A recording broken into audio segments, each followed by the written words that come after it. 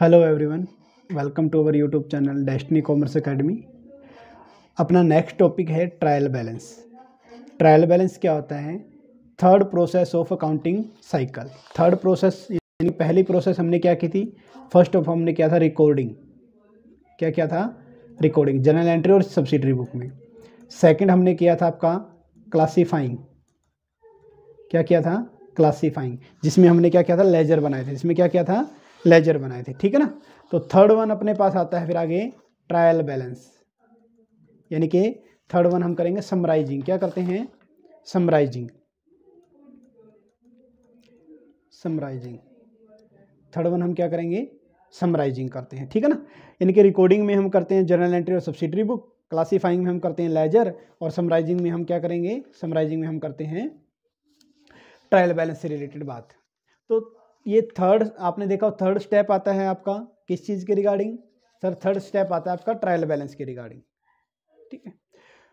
तो नेक्स्ट दिया गया है it is a statement of debit and credit balance of account of ledger यानी कि जो लेजर कहाँ पर क्लासीफाइंग के अंदर जो लेजर किए गए थे अपने, उसके डेबिट और क्रेडिट बैलेंस को इसके अंदर लिखते हैं।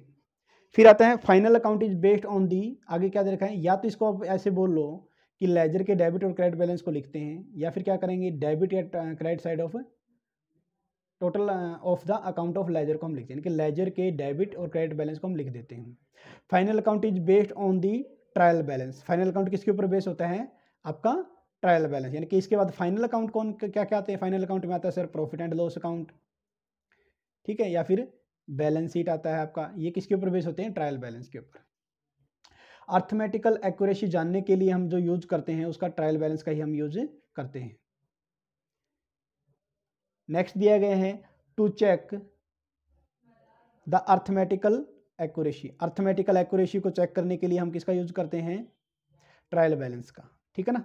To check arithmetical accuracy arithmetical accuracy को चेक करने के लिए हम किसका यूज़ करेंगे? ट्रायल बैलेंस का हम यूज़ करते हैं। ठीक है? नेक्स्ट दिया गया है फिर to know the balance of each account her account के बैलेंस को हमें जानना है। तो उसके लिए हम क्या करेंगे? ट्रायल बैलेंस में हम लिखते हैं, एक तो साइड डेबिट और क्रेडिट दोनों साइड लिखते हैं। अब कुछ जो आपके लेजर होते हैं, उनका बैलेंस डेबिट होता है, कुछ के बैलेंस का क्या होता है? क्रेडिट होता है तो हम उसको लिख सकते हैं। इसके बाद देखा मेथड कौन कौन से दे रखे ट्रायल बैलेंस को बनाने के। फ़र्स्ट वन आता टोटल मेथड फिर आता बैलेंस मेथड फिर आता है टोटल एंड बैलेंस मेथड और फिर आता है elimination of the equal total method total method में हम क्या करते हैं? Debit and credit total of the ledger are recorded यानी कि जो लेजर अकाउंट आप बनाते हो, उसका क्या करेंगे? डेबिट और क्रेडिट को टोटल करके हम क्या लिख देंगे? टोटल मेथड में लिख देते हैं, ठीक है ना? यानी कि लेजर का डेबिट टोटल करके लिख दिया क्रेडिट टोटल करके लिख दिया तो इसमें आ जाएगा total method of trial balance में आ जाएगा। फिर आता balancing method only balance of the each account of ledger is recorded in the trial balance अब क्या करते हो? जब भी आप मान ले कोई राम का अकाउंट आपने बनाया, ठीक है? ये क्रेडिट साइड होगी और ये आपकी डेबिट साइड होगी। तो यहाँ पर या तो बैलेंस बचेगा टू बैलेंस सी डी या फिर यहाँ बैलेंस बच जाएगा बाय बैलेंस सी डी ठीक है ना? कैरी डाउन अब आप इस जो बैलेंस है सिर्फ़, इस बैलेंस बैलेंस को अगर आप लिख के दिखाते हो किसमें ट्रायल बैलेंस में तो उसको बोलते हैं balance method of trial balance next one आता है टोटल या balance method combination of the above two method both above are prepared यानी कि दोनों से ही बना जा सकता है। आप टोटल भी लिख देते हो और आप उसका बैलेंस के थ्रू भी कर सकते हो। उसको बोलते हैं टोटल या टोटल एंड बैलेंस मेथड हम बोलते हैं। फिर आता है एलिमिनेशन ऑफ़ इक्वल टोटल यानी कि अगर क्या होता है, जैसे राम के अकाउंट में मान लिया कि बैलेंस आपका दे रखा है कि फाइव थाउज़ेंड का, और श्याम के अकाउंट में फाइव थाउज़ेंड का दे रखा है, यानी कि एक एक का बैलेंस दे रखा डेबिट एक का दे रखा क्रेडिट तो हम इसको छोड़ देंगे। यानी कि जो बैलेंस डेबिट और क्रेडिट साइड जिसकी सेम होती है, उसको हम क्या कर देते हैं इग्नोर कर देते हैं। तो इसलिए बोला गया है क्या? Elimination of equal total total of debit and credit if equal then those account are eliminated and other are the same as the total method और बाकी सारे कैसे करेंगे? इस टोटल मेथड की तरह हम यूज़ कर लेंगे। सर डेबिट एक साइड लिख दें क्रेडिट एक साइड लिख दें, जो लेजर का बैलेंस है वो। नेक्स्ट में आता है सर ट्रायल बैलेंस में क्या एरर हो सकते हैं? जी हाँ ज़रूर। ट्रायल बैलेंस के एरर को आइडेंटिफाई करने के लिए हम क्या करते हैं? अलग अलग किस किस तरह के एरर होते हैं? सबसे पहले तो हमें यही पता होना चाहिए। देखिए। ट्रायल बैलेंस के अंदर जो एरर दे रखे हैं first of all number one इसके अंदर दे रखा है एरर ऑफ़ प्रिंसिपल क्या दे रखा है? आपका एरर ऑफ़ प्रिंसिपल दिया गया है। ठीक है? एरर ऑफ़ प्रिंसिपल में क्या कुछ दे रखा है? Due to insufficient knowledge of accounting principle यानी कि अगर आपको अकाउंटिंग प्रिंसिपल का ही ज्ञान नहीं है लाइक like आपको ये नहीं पता कि परचेज ऑफ़ गुड्स और परचेज ऑफ़ एसेट्स इसमें फ़र्क होता है। कि गुड्स को परचेज करना और एसेट को परचेज करना, कहाँ कहाँ लिखना है। अगर आपको ये नहीं पता तो इसको बोलते हैं एरर ऑफ़ प्रिंसिपल कि आपको बेसिक प्रिंसिपल का ही नहीं पता है। ठीक है? तो इसके अंदर क्या कुछ दिया गया देखिए, सबसे पहले due to insufficient knowledge of accounting principle ऐसा होता है। फॉर एग्ज़ाम्पल आपने क्या किया? परचेज ऑफ़ मशीनरी मशीनरी को परचेज कर लिया दो हज़ार में। तो एंट्री क्या होनी चाहिए? Machinery account debit to cash account लेकिन आपको नहीं पता कि आपने सिर्फ़ परचेज वर्ड देखा और एंट्री कर दी purchase account debit to cash account two thousand से। तो ये एंट्री क्या हो जाएगी? आपकी गलत हो जाएगी, जबकि एक्यूरेट एंट्री क्या है? ये आपकी एक्यूरेट एंट्री दिया गया है। तो इसको बोलते हैं error of principle next one आता है आपका फिर एरर ऑफ़ ओमिशन ओमिशन का मतलब कि आप एंट्री करना ही भूल गए। No entry is made either journal और इट्स सब्सिडरी बुक्स और लेजर यानी कि जर्नल या इसकी सब्सिडरी बुक में आप एंट्री नहीं की, या फिर आपने लेजर में भी एंट्री नहीं की तो किसमें आ जाएगा आपका सारा का सारा एरर ऑफ़ ओमिशन में आ जाता है। थर्ड वन आता है फिर आपका कंपनसेटरी एरर कंपनसेटरी का मतलब क्या होता है कि एक चीज़ को आपने डेबिट कर दिया, दूसरे क्रेडिट कर दिया, जबकि गलत एंट्री कर दी। जैसे two entry compensating each other value यानी कि एक दूसरे की वैल्यू को दोनों एंट्री ने क्या किया? रेक्टिफाई कर दिया, सुधार दिया, गलत कर दिया। कैसे example purchase machinery. For twenty thousand from Ayush recorded eighteen thousand अब मशीनरी खरीदी तो मशीनरी अकाउंट डेबिट टू किससे खरीदी? आयुष से। टू आयुष कितना आना चाहिए? बीस हज़ार। कितना आना चाहिए? बीस हज़ार। तो आपने, लेकिन आपने कर दिया कितना? यहाँ पर आपने लिख दिया एटीन थाउज़ेंड कितना लिख दिया? एटीन थाउज़ेंड यहाँ पर लिख दिया आपने एटीन थाउज़ेंड ठीक है? ओके नेक्स्ट क्या दिया गया है? नेक्स्ट दिया गया था और अंकित से खरीदी मशीनरी। अंकित से खरीदी तो क्या करेंगे? मशीनरी अकाउंट डेबिट कितने की? एटीन थाउज़ेंड की। और टू अंकित। कितने का? एटीन थाउज़ेंड की। लेकिन आपने रिकॉर्ड कितना कर दिया? आपने रिकॉर्ड कर दिया सर एटीन की जगह ट्वेंटी थाउज़ेंड कितना कर दिया? ट्वेंटी थाउज़ेंड तो आपने क्या किया? देखो, मशीनरी अकाउंट को डेबिट अठारह से करना था, वहाँ तो आपने कर दिया बीस से, और जहाँ पर बीस से करना था, वहाँ कर दिया अठारह से। ठीक है? तो इसका इफ़ेक्ट मशीनरी अकाउंट में तो कुछ नहीं पड़ेगा, लेकिन अंकित और यूज़ अकाउंट में अलग से आपको पता चल जाएगा। तो इस इस टाइप से अगर मैं बोलूँ कि मशीनरी अकाउंट अगर यहाँ पर किस कंडीशन में आप बोलोगे, सर कंपनसेटरी एरर पाया जा गया मशीनरी अकाउंट में। ओके? तो नेक्स्ट दिया गया अपने पास एरर ऑफ़ कमीशन क्या दिया गया है? Error of commission error of commission में क्या दिया गया है?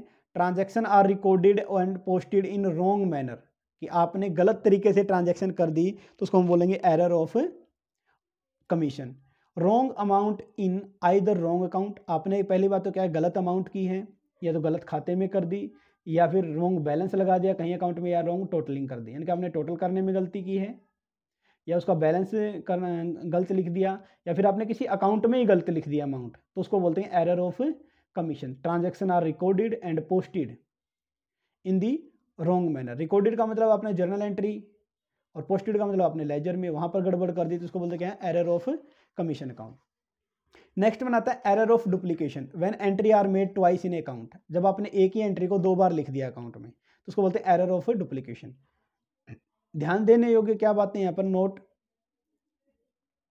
error disclose by trial balance कि एरर जो है, जो ट्रायल जो एरर आपने किए हैं तो कौन से ऐसे एरर है जिसको ट्रायल बैलेंस इजीली पकड़ लेता है आपका? तभी तो इसको बोलते हैं क्या? टू चेक अर्थमेटिकल एक्यूरेसी की अर्थमेटिकल एक्यूरेसी को चेक करते हैं। तो कौन कौन सी कंडीशन होती है जहाँ पर एरर होने पर ट्रायल बैलेंस आपको बता देगा कि यहाँ पर एरर हुआ है। Number one posting of journal to ledger अगर आप जर्नल से लेजर में पोस्टिंग कर रहे हैं, अगर आपने जर्नल में कुछ लिखा लेजर में कुछ अलग लिख दिया तो पता चल जाएगा omission of posting of the sum account is made आपने क्या किया कुछ अकाउंट को पोस्टिंग करना आपने भूल गए हो, या तो गलत पोस्टिंग कर दिया या पोस्टिंग करना भूल गए हो। ठीक है? या फिर furniture purchase for cash and recorded furniture but not credit to the cash side आपने क्या किया? सिर्फ़ फर्नीचर परचेज किया। Furniture account debit to cash account लेकिन आपने फर्नीचर में तो एंट्री कर दी, लेकिन कैश में एंट्री करना आप भूल गए। ओमिशन का मतलब भूलना। तो वो एंट्री क्या है? ट्रायल बैलेंस के थ्रू आपको पता चल जाएगी। नेक्स्ट वन आता है while making posting in ledger अगर आप जब लेजर के अंदर पोस्टिंग करते हो तो रॉन्ग अमाउंट से कर देते हो। किससे कर देते हो? Wrong amount is recorded in one account instead of जैसे कि आपने पोस्टिंग कर ली, कितने से?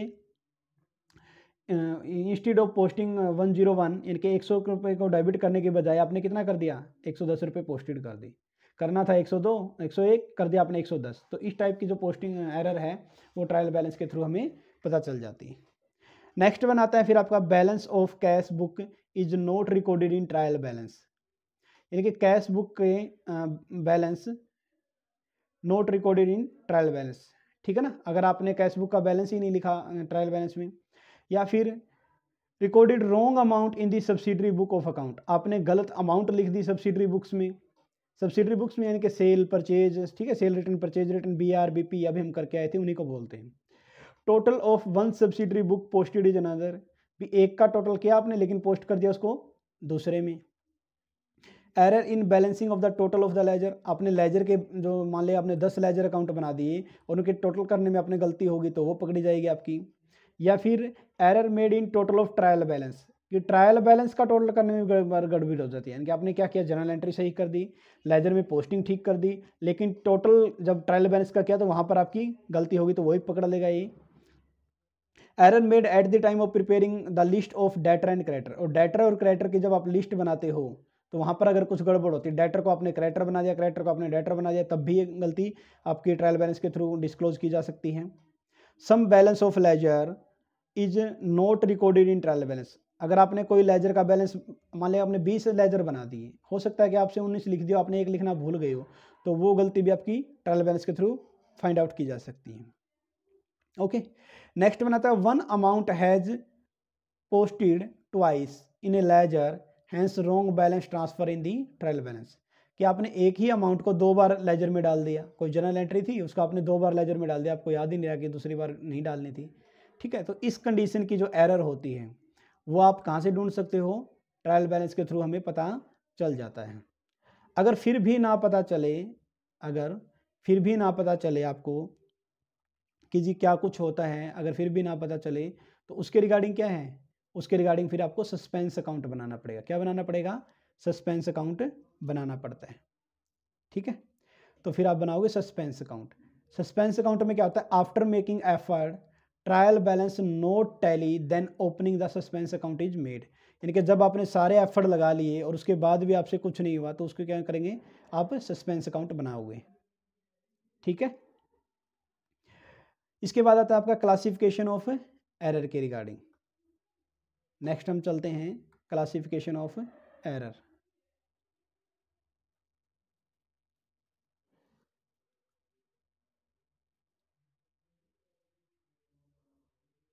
classification of error देखिए।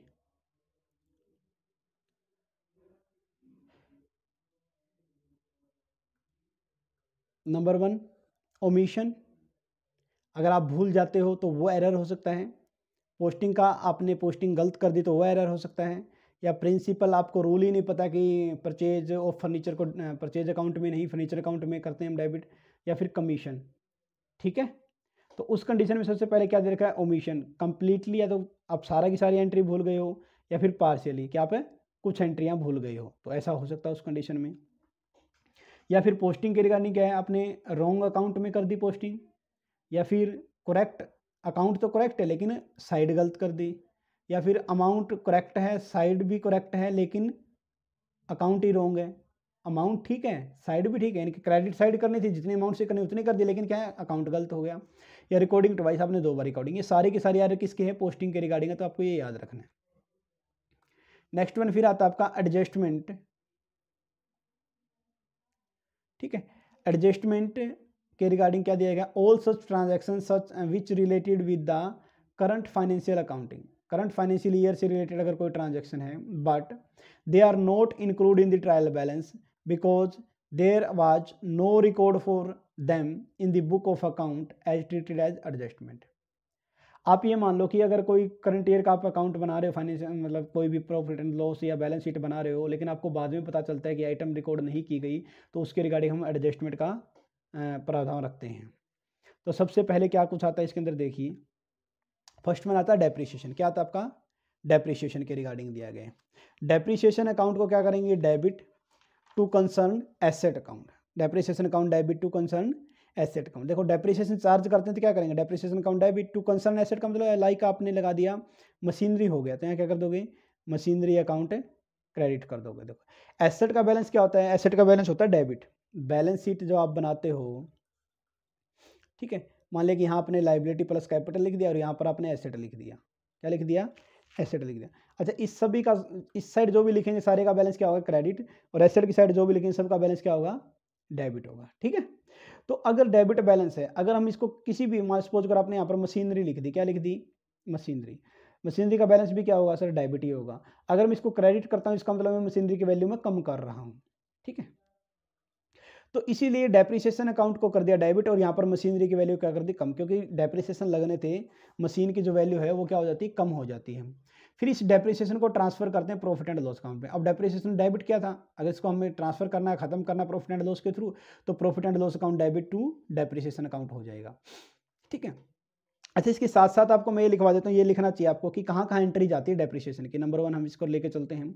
तो फ़र्स्ट वन अपने पास होता है प्रॉफिट एंड लॉस अकाउंट में।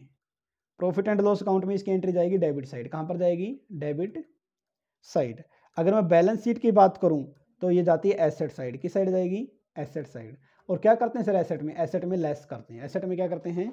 लेस करते हैं। ठीक है? कई बार क्या होता है कि सिर्फ़ एक ही साइड दिया गया है। क्या दिया गया है? कि सर ट्रायल बैलेंस में ही अगर डेप्रिसिएशन दे रखा हो एडजस्टमेंट में ना दे रखा हो तो उस कंडीशन में ये सिर्फ़ पीएनएल में चला जाएगा। कहाँ चला जाएगा? कहाँ यहाँ पर? जब सिर्फ़ ट्रायल बैलेंस में दे रखा हो। क्या दे रखा हो? जब सिर्फ़ ट्रायल बैलेंस में दे रखा हो तो उस कंडीशन में ये सारी की सारी क्या हो जाएगी? सर, सिर्फ़ पी एन में एंट्री जाएगी और कहीं नहीं जाएगी। एडजस्टमेंट में डेप्रिसिएशन है तो एक बार पी की डेबिट में एक बार बैलेंस शीट की एसेट में से घटा देंगे उस कंसर्न एसेट से रिलेटेड ठीक है, जिस एसेट से वो रिलेटेड है डेप्रिसिएशन अगर सिर्फ़ ट्रायल बैलेंस में डेप्रिसिएशन दे रखा तो पी एन एल की डेबिट साइड लिख देंगे एसेट में फिर नहीं लिखेंगे। होप शो आपको ये समझ में आ गया होगा। इसके बाद है सेकंड पॉइंट अपना बेड डेट्स के रिगार्डिंग क्या कुछ दिया गया देखिए। ठीक है। बेड डेट्स के रिगार्डिंग क्या दिया गया है? सेकंड पॉइंट अगर बेड डेट्स एंड डाउटफुल डेप्ट है, तब या डिस्काउंट है और प्रोविज़न है, तब क्या कुछ कंडीशन करनी है? तो पहले देखिए। बेड डेट्स अभी डेटर भी हमारी क्या होती है? एसेट होती है। डेटर वो व्यक्ति जिससे हमें पैसा लेना है, यानी कि फर्म जिससे पैसा लेगी, जिसको उधार माल बेचा था, जिससे फर्म पैसा लेगी, उसको बोलते हैं डेटर डेटर एसेट साइड लिखे जाते हैं, इसके लिए उसका बैलेंस होता है डेबिट ठीक है? अगर हमें डेटर को कम करना है, मान ली पहले हम दस हज़ार रुपये किसी से लेने थे, लेकिन आप बोल देंगे नहीं, मैं दो हज़ार तो नहीं दूँगा अपने अपने आपको लगता है कि दो हज़ार रुपये तो मेरे बेड डेट्स हो जाएँगे, डूब जाएँगे। तो अब क्या करेंगे? डेटर को कम करना पड़ेगा। कम करने का तरीका क्या होता है? सर नॉर्मली उसको डेबिट करते हैं अब क्या करना पड़ेगा? क्रेडिट किस नाम से? जो नुकसान हो रहा है बेड डेट्स के नाम से। Bad debts account debit to debtor तो बेड डेट्स क्या कर दिया हमने रिटर्न ऑफ़ कर दिया कि डेटर में से अब चले गए। ओके अब इस बेड डेट्स को क्या करना है? मिल के आपने मान लिया, देखो टेन थाउज़ेंड थे। आपने मान लिया कि दो हज़ार रुपये बेड डेट्स हो जाएँगे। कितने हो जाएँगे? दो हज़ार रुपये आपके डूब जाएँगे। अब इस 2000 आपको लगता है कि सर ये मेरे बेड डेट्स हो गए हैं तो इसके रिगार्डिंग आप क्या करोगे? प्रोविज़न बना के चलोगे स्टार्टिंग में। क्या करोगे? प्रोविज़न बना के चलेगी। यानी कि बेड डेट्स को यहाँ डेबिट किया था तो इसको खत्म करना है क्यों? क्योंकि इसके रिगार्डिंग प्रोविज़न बनाना है तो प्रोविज़न फॉर बेड डेट्स को हम क्या कर देंगे? डेबिट कर देंगे। बेड डेट्स को खत देखो डेटर को कम करने के लिए bad debts account debit to debtor अब बेड डेट्स को खत्म करने के लिए हम क्या करेंगे? प्रोविज़न बना देंगे। प्रोविज़न फॉर डाउटफुल डेट्स का बना दिया आपने, ठीक है ना? अब जो ये प्रोविज़न आपने बनाया है, इस प्रोविज़न को कहाँ डालोगे? पीएनएल अकाउंट में डाल दोगे। कहाँ डाल दोगे? पीएनएल तो पीएनएल को यहाँ प्रोविज़न को क्या किया गया था? डेबिट किया गया था सर अब इसको खत्म कर देंगे तो पीएनएल में डाल देंगे। किसमें डाल देंगे? पीएनएल में डाल। तो सीक्वेंस देखना। डेटर से बेडर्स बनाए तो डेटर को जो मेन है ना बेस उसको हम क्या करते हैं? डेबिट डेटर को डेबिट करते थे, लेकिन यहाँ पर क्या कर देंगे? डेटर को क्रेडिट कर देंगे। अब बेडेट्स को हमने डेबिट किया इसको खत्म करने के लिए प्रोविज़न बनाएँगे तो बेडेट्स डेबिट था तो इसको क्रेडिट कर देंगे। ऐसे ही प्रोविज़न को डेबिट था, इसको खत्म करने के लिए इसको क्रेडिट कहाँ से करेंगे? पीएनएल से करते हैं। ओके हो सकता है कि आपका कुछ पैसा आ भी जाए। आपको पहले लगता था कि नहीं, ये डूब जाएगा, लेकिन अब आपको लगता है कि आ जाएगा। तो कैश अकाउंट डेबिट सिंपल सा एक रूल है। अगर आपको नॉमिनल अकाउंट पर्सनल अकाउंट और रियल अकाउंट के रूल याद नहीं रहते तो सिर्फ़ एक याद रखना है। पैसा आ रहा है तो बिज़नेस के अंदर डेबिट कैश को, और पैसा जा रहा है तो कैश को क्रेडिट ठीक है? तो बेड डेट्स रिकवर हो गए यानी कि बेड डेट्स का कुछ पैसा, सपोज़ करो दो हज़ार में से आपने हज़ार रुपये मिल गए आपको तो कैश अकाउंट डेबिट हज़ार रुपये और बेड डेट्स रिकवरी कितना? हज़ार रुपये हो जाएगा, ठीक है? दो के दो मिल गए तो सारा का सारा डाल देंगे। अब बेड डेट्स रिकवर हो गए हैं तो आपने पीएनएल से पहले दो हज़ार रुपये चार्ज कर लिए थे, यहाँ पर कितने चार्ज कर दिए थे? दो हज़ार रुपये। अब क्या करेंगे? पीएनएल को हज़ार रुपये से क्रेडिट कर देंगे तो बेड डेट्स रिकवरी यहाँ पर क्रेडिट था, उसको क्या कर दिया? डेबिट, और पीएनएल को क्या कर दिया? क्रेडिट कितने से? हज़ार रुपये इसके सर, हज़ार रुपये वापस हम डाल देते हैं प्रॉफिट एंड लॉस में। तो ये सीक्वेंस सा था। होप यू आपको आ गया होगा ये। इसके बाद दे रखा है, ये तो आपका देखो यहाँ तक। अभी तक हमने क्या किया? अभी तक हमने किया था bad debts and doubtful debts के रिगार्डिंग अब हम पढ़ेंगे डिस्काउंट और प्रोविज़न के रिगार्डिंग तो डिस्काउंट और प्रोविज़न के रिगार्डिंग देखिए। तो सबसे पहले दे रखा है provision for discount provision for discount on debtor पहले था प्रोविज़न फॉर डाउटफुल डेट्स अब क्या डिस्काउंट ऑन डेटर अब डिस्काउंट देना डेटर पर। ठीक है तो profit and loss account debit to provision for discount on debtor आपने देखा हो तो जो प्रोविज़न बनाते हैं हम प्रोविज़न को हम क्या करते हैं? अगर पीएनएल के थ्रू डाल रहे हैं तो उसको क्या कर दें? क्रेडिट कर दें। पीछे भी हमने क्या किया था। अब अगर डेटर है डेटर कौन से होते हैं? सर डेटर होते हैं जिनसे हमने पैसा लेना है। तो अगर उसको डिस्काउंट दिए हमें लॉस हुआ लॉस हुआ तो पीएनएल को डेबिट ठीक है? यानी कि प्रॉफिट एंड लॉस अकाउंट है।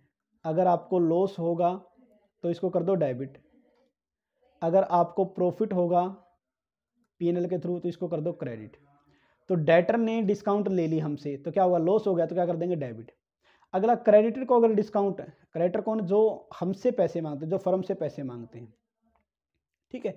तो प्रॉफिट हो गया तो पीएनएल को क्या कर देंगे? क्रेडिट देखो पीएनएल को क्रेडिट किससे? डिस्काउंट से.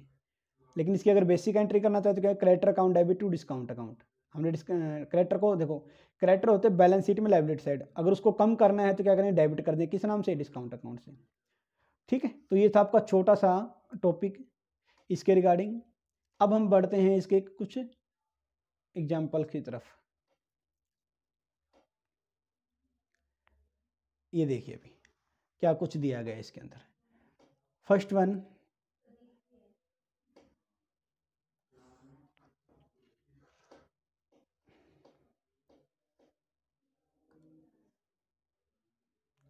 डेटर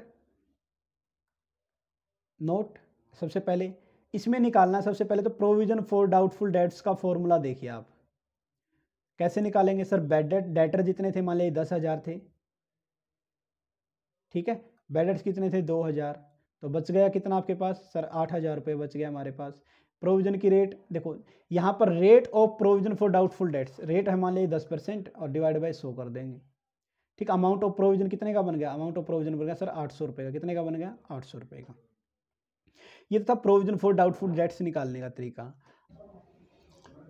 नेक्स्ट है अपना provision for discount on debtor के रिगार्डिंग दिया गया है। ठीक है, इसमें क्या कुछ है देखिए।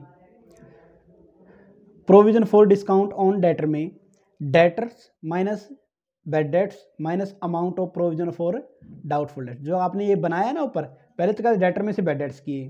बेड डेट्स किए, फिर उसका प्रोविज़न बनाया, फिर रेट ऑफ़ द डिस्काउंट फिर डेटर को डिस्काउंट दोगे। ठीक है?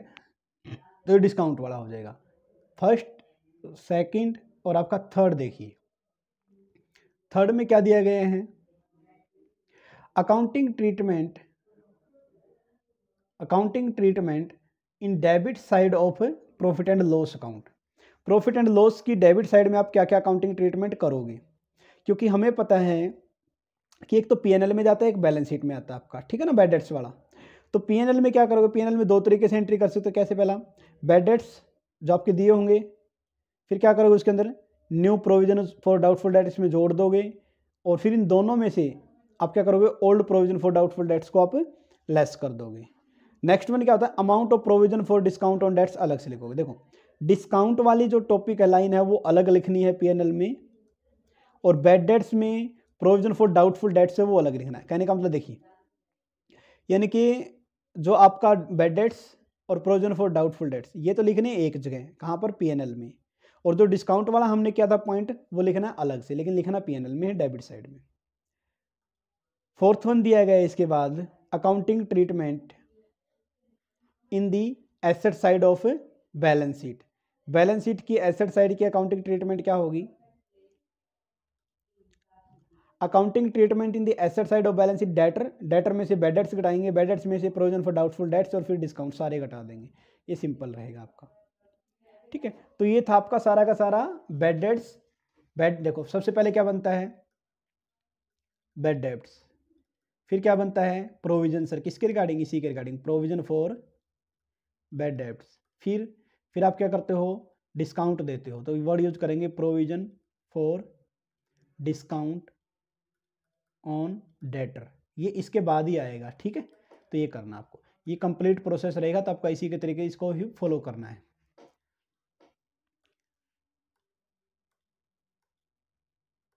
नेक्स्ट पॉइंट है अपना।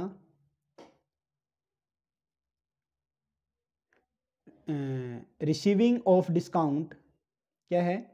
Receiving of discount on creditors receiving on discount receiving of discount on creditor क्या कुछ दिया गया इसके अंदर? पहला receiving of discount on creditors of current year in the next year अगर करंट क्रेडिटर से आपको डिस्काउंट मिल जाए तो एक तो देखो डेटर से डिस्काउंट थी, अब अगर क्रेडिटर से डिस्काउंट मिल जाए तो क्या है?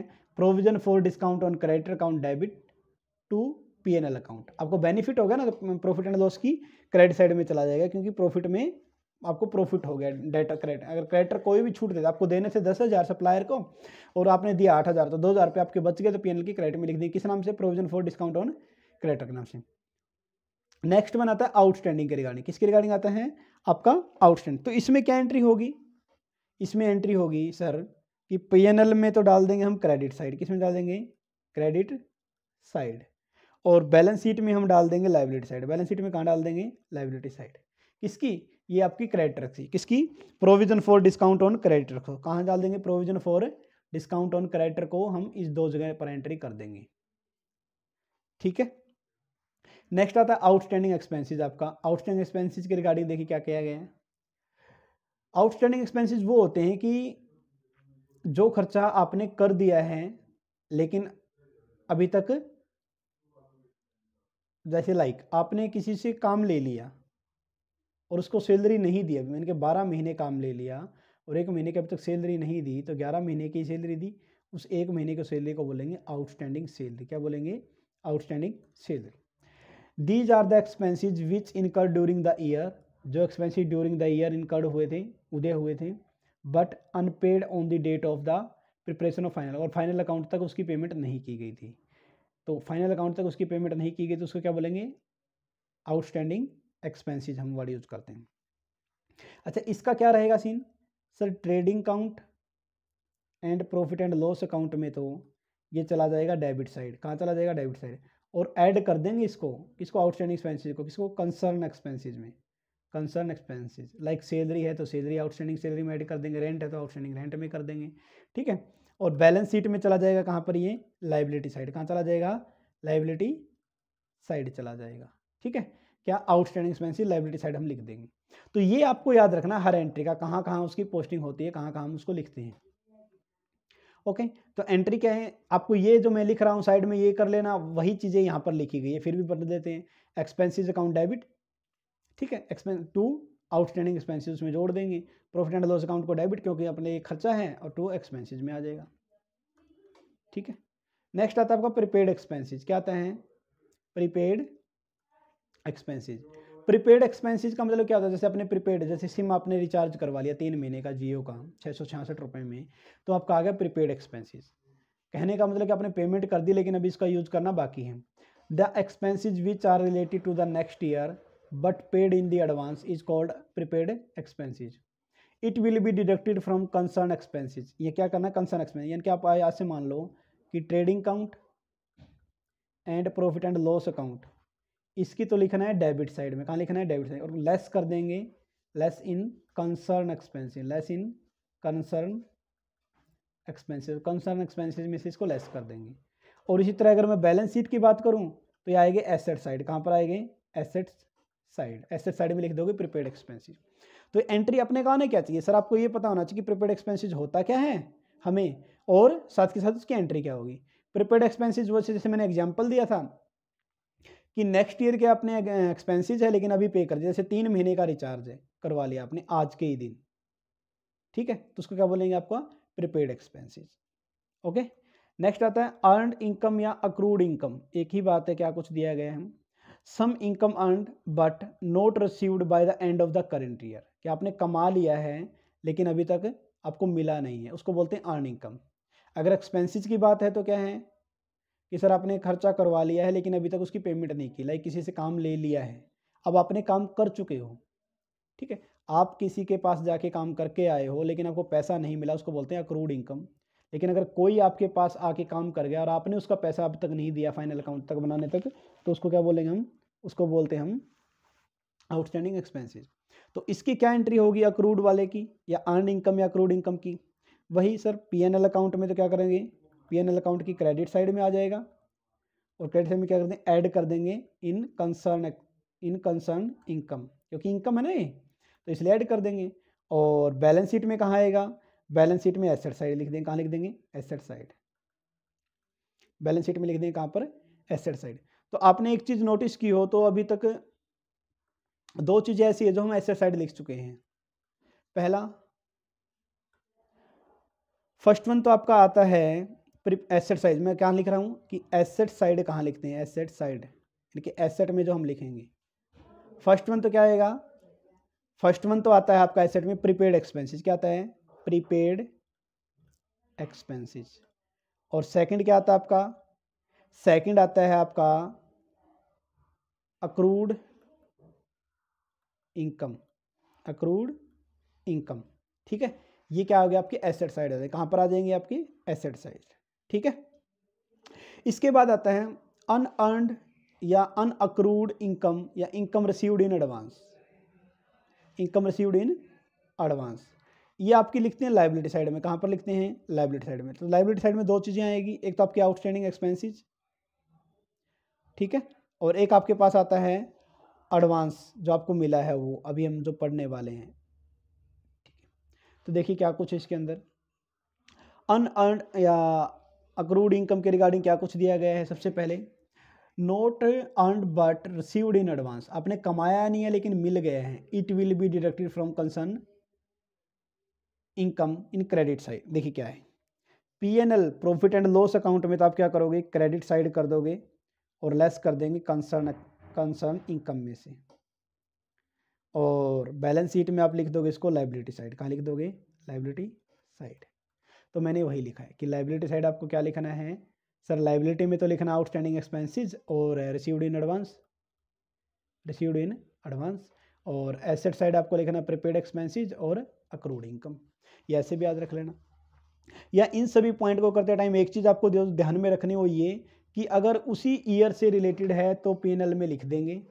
मान लें कि आपको 12 महीने का खर्चा लिखना है, लेकिन आपको 11 महीने का ही खर्चा आपने किसी को पेमेंट की है तो एक महीने का और आउटस्टैंडिंग दिखा के लिख दो। लेकिन अगर आपको तेरह महीने की पेमेंट मिलेगी तो उस महीने जब पीएनएल बनाते हो तो बारह महीने का है तो उसको लेस कर दो। तो यही सिस्टम बस। इनके बारह महीने के अंदर अंदर जो है एक्चुअल में जो बनता है, वही आपको लिखना है और कुछ भी नहीं लिखना है इसके अंदर। नेक्स्ट अपना है इंटरेस्ट ऑन कैपिटल क्या आता है इंटरेस्ट ऑन कैपिटल के रिगार्डिंग दिया गया। It is an expenses for the business कहाँ कहाँ दिखाते हैं इंटरेस्ट ऑन एक्सपेंसिज को? इंटरेस्ट में पीएनएल के डेबिट में, प्रॉफिट एंड लॉस अकाउंट के कहाँ देंगे डेबिट साइड और बैलेंस शीट की लाइबिलिटी साइड। बैलेंस शीट की कहाँ दिखाएँगे लाइबिलिटी साइड ऐड कर देंगे in capital, add in capital. और कैपिटल में क्या कर देंगे उसको? ऐड कर देंगे। आपका इंटरेस्ट ऑन कैपिटल की एंट्री। ठीक है? तो बैलेंस शीट के देखो पीएनएल की डेबिट में कर रहे हैं, डेबिट साइड करें तो पीएनएल अकाउंट क्या कर देंगे? Debit to interest on capital. और बैलेंस शीट की लाइबिलिटी में कैपिटल में ऐड करें तो कैपिटल अकाउंट का क्या कर देंगे? देखो ऐड का मतलब हो गया कि सर कैपिटल का बैलेंस होता है क्रेडिट और ऐड का मतलब उसमें जोड़ दो और क्रेडिट कर दो उसको। इंटरेस्ट ऑन ड्रॉइंग के रिगार्डिंग दिए गए हैं। इंटरेस्ट ऑन ड्रॉइंग जो है प्रॉफिट एंड लॉस अकाउंट में तो क्या कर देंगे हम? क्रेडिट साइड लिख देंगे। और बैलेंस शीट में कहाँ लिख देंगे? लाइबिलिटी साइड का लिख देंगे? लाइबिलिटी साइड और लेस कर देंगे in capital less in capital ठीक है? लेस इन कैपिटल और कैपिटल में से क्या कर देंगे उसको? लेस कर देंगे। तो यह था आपका इंटरेस्ट ऑन ड्रॉइंग कैपिटल क्या होता है? कि ओनर जो लेके आता है। कैपिटल मीन्स जो ओनर पैसे लेके आएगा तो उसके बदले तो उसको ब्याज मिलेगा। तो इसलिए कैपिटल में क्या करते हैं? उसको ऐड करते हैं। और ड्राइंग क्या होता है? जो ओनर ने पैसा निकाल लिया तो कैपिटल में से क्या करेंगे? इसको कम कर देंगे। बस ये सिंपल सा था आपका। ठीक है? और इसके बाद दिया गया है फिर आपका डेफर्ड रिवेन्यू एक्सपेंडिचर। क्या दिया गया है? डेफर्ड रिवेन्यू एक्सपेंडिचर के रिगार्डिंग दिया गया है। डेफर्ड रिवेन्यू एक्सपेंडिचर का मतलब क्या होता है कि आपने कोई ऐसा खर्चा कर दिया बड़ा जिसका बेनिफिट आपको कई सालों तक मिलेगा, उसको बोलते हैं क्या? Deferred revenue expenditure like advertisement आपने एडवर्टाइजमेंट पर सपोज़ करो कि टेन लाख रुपीज़ इन्वेस्ट कर दिए। लेकिन आपको लगता है कि इसका बेनिफिट आपको टेन ईयर्स तक मिलेगा? कहाँ तक मिलेगा? टेन ईयर तक इसका बेनिफिट मिलता रहेगा। तो यानी कि हर साल आप क्या करोगे? पीएनएल से एक लाख रुपया क्या करोगे? डिडक्ट कर लोगे। यानी कि इसको पीएनएल से चार्ज कर लोगे आप एक साल, हर साल एक लाख रुपया। और जो रिमेनिंग बचेगा उसको क्या लिख देंगे? बैलेंस शीट में। पहले साल बैलेंस शीट में लिख देंगे नौ लाख रुपये फिर क्योंकि एक लाख आपने पीएनएल से चार्ज कर लिए। क्या, कहाँ से चार्ज कर लिए? प्रॉफिट एंड लॉस अकाउंट से। ठीक है? तो यहाँ पर भी आपको फिर ये ध्यान रखने की ज़रूरत है कि सर क्या पीएनएल में क्या करते हैं? तो ये देखो प्रॉफिट एंड लॉस अकाउंट में तो हम करते हैं डेबिट और बैलेंस शीट में हम करते हैं एसेट साइड में। कहाँ दिखा देते हैं? एसेट साइड अच्छा इसमें क्या करेंगे? जो पीएनएल में वही पार्ट लिखेंगे जो only one part only one part जो एक पार्ट जो आपको जैसे एक लाख रुपया था ना तो एक लाख रुपया लिख देंगे इसमें। और बैलेंस शीट में क्या लिख देंगे? रिमेनिंग पार्ट क्या लिख देंगे? रिमेनिंग पार्ट लाइक नौ लाख रुपए जो बच गए थे आपके, वो लिख दें उनका बैलेंस शीट में। ये था आपका डेफिड रिवेन्यू तो डेफिड रिवेन्यू क्या होता है? कि कोई भी आपने ऐसा बड़ा खर्चा कर दिया जिसका बेनिफिट कई सालों तक मिलेगा तो उसको हम एकदम पीएनएल से चार्ज न कर कर धीरे धीरे करके प्रॉफिट एंड लॉस से चार्ज करते हैं और रिमेनिंग बैलेंस हम बैलेंस शीट में लिख देते हैं। फिर देखा आपका लॉस बाय फायर कि जब आपका कोई स्टॉक है वो आग लगने के कारण उसका नुकसान होता है, उसको लिखते हैं loss by fire loss on stock by fire तो फायर के कारण हुआ तो loss by fire to trading account इसकी भी सबसे पहले मैं एंट्री लिख देता हूँ, फिर आपको समझ में आ जाए क्या सबसे पहले? ट्रेडिंग काउंट ट्रेडिंग काउंट को कर देंगे डेबिट क्या कर देंगे? डेबिट माइनस कर देंगे इसमें in purchase minus in purchase से आप क्या कर दोगे? उसको माइनस कर दोगे ट्रेडिंग काउंट को, जितना का नुकसान हुआ है। फिर बात करते हैं प्रॉफिट एंड लॉस अकाउंट क्या करते हैं प्रॉफिट एंड इसको करेंगे डेबिट क्या करेंगे? डेबिट कौन से amount not received not received अगर आपने इंश्योरेंस कर रखा है amount not received from insurance company from insurance company ठीक है? अगर आपको जो अमाउंट इंश्योरेंस कंपनी से नहीं मिली, उसके बारे में बात करते हैं। इसके अलावा बैलेंस शीट में क्या लिखेंगे? बैलेंस शीट में लिखेंगे सर एसेट साइड कहाँ लिखेंगे? एसेट साइड जो अमाउंट रिसीव होगी amount received from insurance company insurance company ठीक है? तो ये जो लॉस बाय फायर का सिस्टम है क्या है? सर अगर सिंपल लॉस हो गया आपने इंश्योरेंस नहीं करवा रखा तो, तो एक ही एंट्री ट्रेडिंग अकाउंट की डेबिट में लिख देंगे परचेज में से लेस कर देंगे. क्योंकि किसके बारे में बात करें सर हम स्टॉक के बारे में बात करें किसके बारे में बात कर रहे हैं? स्टॉक के बारे में बात कर रहे हैं. लेकिन अगर आपने इंश्योरेंस करवा रखा है पहले क्या करेंगे? इसको यहाँ पर कर देंगे. सॉरी, अगर इंश्योरेंस नहीं करवा तो दो एंट्री करेंगे। क्या इतनी एंट्री करेंगे? दो एंट्री पहले तो जो माल है उसको कम कर देंगे परचेज में से और फिर पीएनएल में डाल देंगे। लेकिन अगर आपने इंश्योरेंस करवा रखा है, क्या करवा रखा है? इंश्योरेंस करवा रखा है। तो इंश्योरेंस की जो अमाउंट आपको मिलेगी वो एसेट साइड डाल देंगे। कहाँ डाल देंगे? एसेट साइड हम डाल देंगे। ठीक है? देखिए क्या कुछ लिखा गया इसमें। पहला if such goods are insured the insurance company has agree to pay the claim then क्या क्या insurance claim account debit to trading account और if insurance company pay only a part of amount तो insurance account debit, profit and loss account debit to trading. इसमें जो note received है वो लिख देंगे, इसमें जो रिसीव्ड है वो लिख देंगे, इसमें ट्रेडिंग अकाउंट को कर देंगे, ठीक है? ओके, फिर आता है आपके पास क्या कुछ दिया गया इसमें नोट के पॉइंट के रूप में, नोट नोट के रूप में। पहला,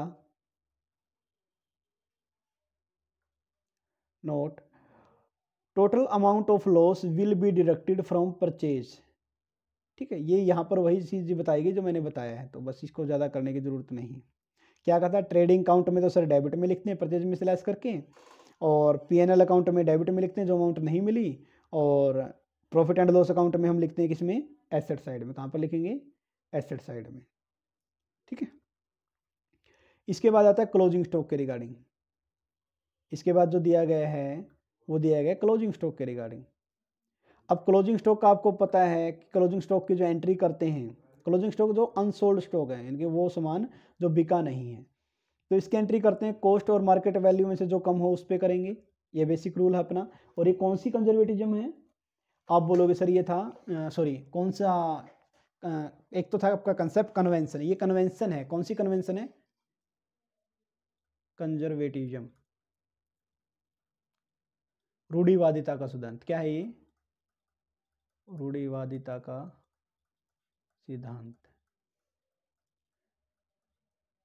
ठीक है, ये कन्वेंशन है कंसेप्ट नहीं है कि लॉस फ्यूचर में होने वाले लॉस को तो लॉस मान लो, लेकिन फ्यूचर में होने वाले प्रॉफिट को प्रॉफिट ना मानो। ओके तो क्लोजिंग स्टॉक के रिगार्डिंग देखिए तो वही बात इसमें आएगी कि सर क्लोजिंग स्टॉक में हम क्या क्या करेंगे? तो क्लोजिंग स्टॉक के अंदर सबसे पहले वही ट्रेडिंग काउंट में क्या, कहाँ डालेंगे? ट्रेडिंग काउंट की क्रेडिट साइड लिख देंगे कहाँ लिख देंगे? क्रेडिट साइड और बैलेंस शीट की कहाँ लिख देंगे? एसेट साइड बैलेंस शीट की कहाँ लिख देंगे? एसेट साइड ठीक है? जैसे आपको याद हो तो मैंने कहा था कि अगर डेप्रीशिएशन सिर्फ़ ट्रायल बैलेंस में दे रखा हो डेप्रीशिएशन सिर्फ़ ट्रायल बैलेंस में दे रखा हो ट्रायल बैलेंस में दे रखा हो तो उसकी एंट्री कहाँ करते हैं हम? उसकी एंट्री करते हैं ट्रेडिंग अकाउंट में। कहाँ करते हैं? Sorry P N L account में। कहाँ पर करेंगे? प्रॉफिट एंड लॉस अकाउंट में। उसकी एंट्री करते हैं प्रॉफिट एंड लॉस अकाउंट की डेबिट साइड कहाँ? अगर डेप्रिशिएशन सिर्फ़ ट्रायल बैलेंस एडजस्टमेंट में ना देकर ट्रायल बैलेंस में दे रखा हो उसको पीएनएल में करते हैं। इसी तरीके से क्लोजिंग स्टॉक क्लोजिंग स्टॉक अगर सिर्फ़ ट्रायल बैलेंस में दे रखा हो तो उसको हम कहाँ लिखेंगे? सर, उसको हम लिखते हैं बैलेंस शीट में। कहाँ लिखेंगे?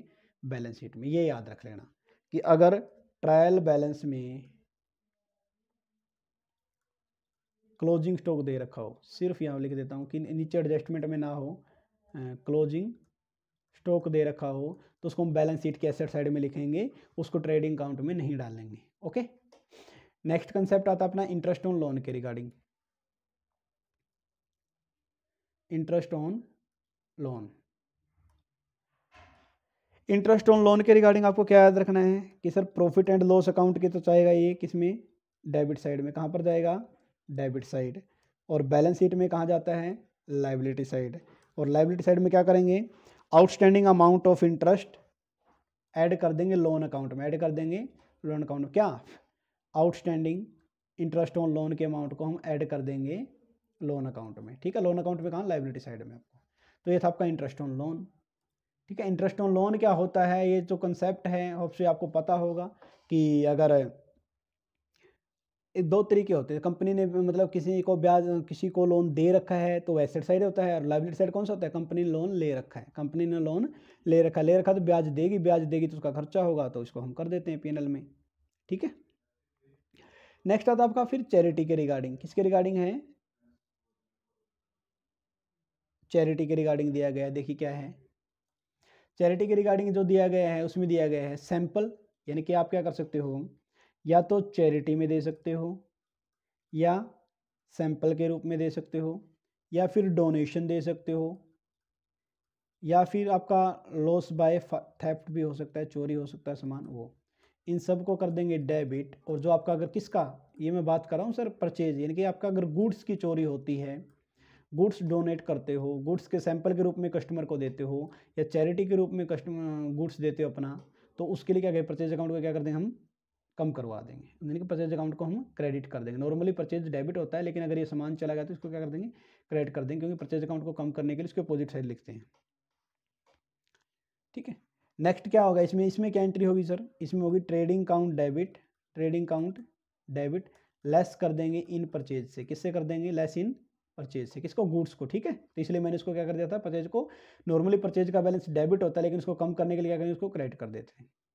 फिर क्या करेंगे? Profit and loss account profit and loss account में डेबिट में डाल देंगे कहाँ डाल देंगे? डेबिट में देखो एंट्री जो मैं लिख रहा हूँ, वो सारी की सारी एंट्री आपकी यहाँ पर देखो प्लस इन परचेज यहाँ पर हो गया। जो मैंने यहाँ पर लिखा ना, सिर्फ़ आप ये याद कर लेना, इससे आपका काम चल जाएगा। इसी तरह बात करते हैं तो ड्रॉइंग की।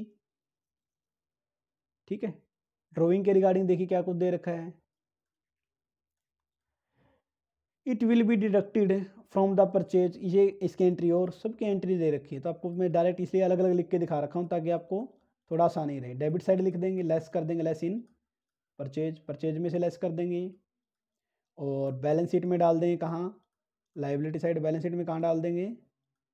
लाइबिलिटी साइड में माइनस कर देंगे, किसमें? इन कैपिटल में से माइनस कर देंगे।